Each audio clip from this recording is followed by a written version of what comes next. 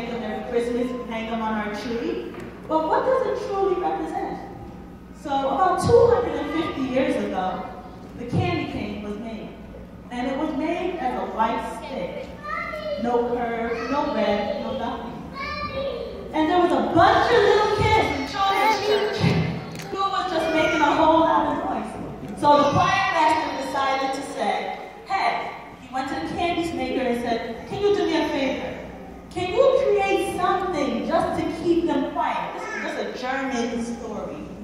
And in 1670 said that he created this candy cane. And the candy cane then got red stripes later on in 1900s.